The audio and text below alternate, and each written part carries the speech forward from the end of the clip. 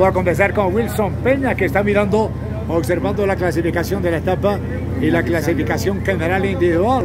Y aquí lo presentamos en Caracol, Radio Sevilla, Caracol Girardot, Ciclismo sin límite. Me quiero Wilson bien forradito. Bueno, ¿qué opina de lo que vimos en el día de hoy? Bueno, un saludo a todos en nombre de este equipo Colombia Terratetas Chimano.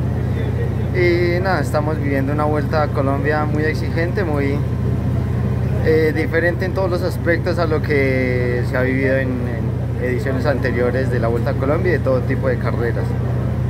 El podio, que... el podio está vivo todavía, ¿no?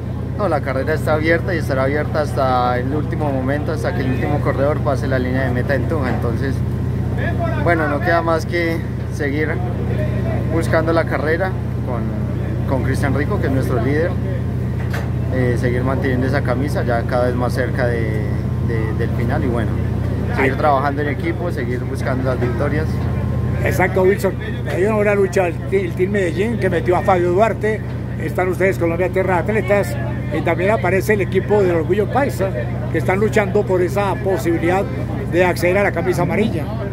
Claro, todos los equipos estamos en, en la búsqueda de la general, de las victorias de etapas también. Eh, no será fácil, todos tenemos la, la ambición, las ganas. Eh, siempre salimos con,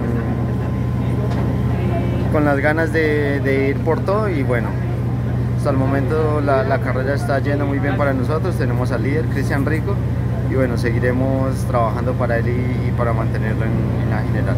Venga, ¿usted cómo se ha sentido, hombre? Bueno, yo muy bien, muy bien, las sensaciones van muy bien, el cuerpo responde. Y bueno, aparte de eso, pues ya eh, nos, nos ponen en las situaciones de carrera, fugas, no fugas, quién se va, quién no se va, llega, no llega, mucho tiempo. Bueno, esto es lo, lo, lo raro y pues lo entretenido de esta Vuelta a Colombia. Eso es lo que es el entretenimiento de la carrera, porque un solo equipo marcando el compás desde el comienzo, desde Barranquilla, pues la carrera como espectáculo sería aburridora, ¿no? No, aburridora no, porque siempre habrá una lucha por la general. Así sea en el último kilómetro habrá el espectáculo, así sea 50 kilómetros habrá el espectáculo. Eh, la, la, lucha por la general siempre, siempre está y siempre estará hasta el final, hasta el último momento de la carrera.